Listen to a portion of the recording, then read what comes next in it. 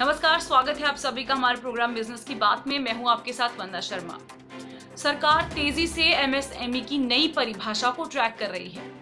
तो आज हम इसी पर बात करेंगे, शुरुआत करते हैं। सरकार माइक्रो स्मॉल और मीडियम उद्यमों की परिभाषा में संशोधन करने की कोशिश कर रही है ताकि ये संस्थाएँ विकसित हो सके।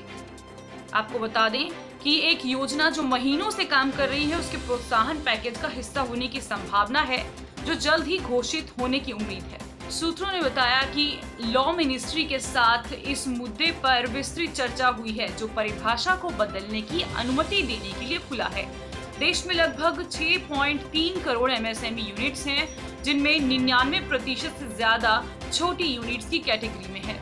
आगे बढ़ने से पहले अगर आपने अभी तक हमारे चैनल को सब्सक्राइब नहीं किया है तो तुरंत सब्सक्राइब करें, ताकि आप हर अपडेट जान सकें। तो आगे बढ़ते हैं। फ़िलहाल की परिभाषा के विपरीत जो प्लांट और मशीनरी में निवेश से जुड़ा हुआ है, सरकार उसके टर्नओवर आधारित वर्गीकरण के लिए ज़ोर दे रही है। ऐसा कुछ जो स्वदेशी जागरण मंच और लघु उद्योग भारती जैसे शक्तिशाली लॉबी समूह की ओर से विरोध किया गया है।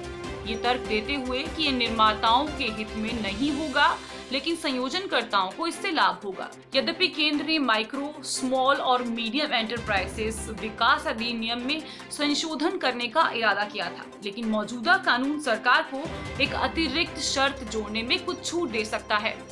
नरेंद्र मोदी सरकार ने अपने पहले कार्यकाल के दौरान ही परिभाषा में संशोधन करने का प्रस्ताव रखा था, लेकिन आरएसएस से जुड़े लोगों के विरोध के कारण विधायी बदलाव को आगे बढ़ाने में असफल रही।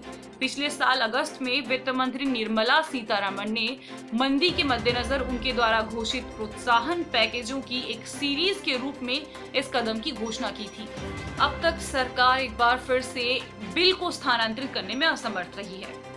लेकिन अब ये सुनिश्चित करने के लिए उत्सुक है कि एमएसएमई जो बड़े और विदेशी खिलाड़ियों से बड़े पैमाने पर कंपटीशन करना चाहते हैं, उस परिभाषा से रूबरू नहीं है जो स्थान पर 2006 में रखी गई थी। पहले के प्रस्ताव के अनुसार पाँच करोड़ रुपए तक के टर्नओवर वाली किसी भी यूनिट को एक माइक्रो एंटरप्राइजेस के रूप में वर्गीकृत किया जाना था। जबकि 75 करोड़ रुपए तक की वार्षिक आय वाले लोग स्मॉल यूनिट श्रेणी में होंगे। इसी तरह 250 करोड़ रुपए तक के टर्नओवर वाली संस्थाओं को मीडियम एंटरप्राइजेस के रूप में वर्गीकृत किया जाएगा। तो हम जल्द मिलेंगे एक नई खबर के साथ, लेकिन तब तक इस खबर पर आप अपने विचार हमें कमेंट बॉक्स में ज़रूर लिख भेजिए।